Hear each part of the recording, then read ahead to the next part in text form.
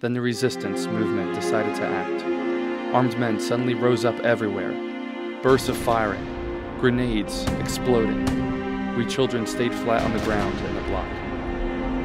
The battle did not last long. Toward noon, everything was quiet again. The SS had fled and the resistance had taken charge of running the camp. At about 6 o'clock in the evening, the first American tank stood at the gates of Buchenwald.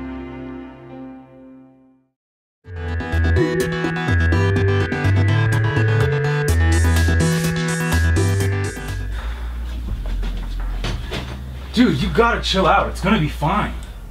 I just don't know what went wrong, man. Just, everything was so perfect. You got to relax, alright? It's gonna be fine. Just sit down.